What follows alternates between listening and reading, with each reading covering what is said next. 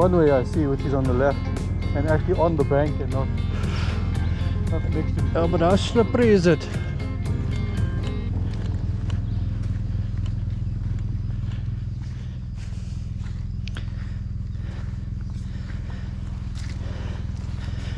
Ooh.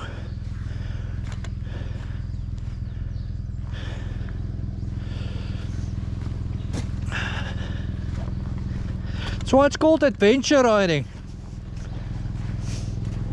If you're comfortable, let's do it. Oh, okay.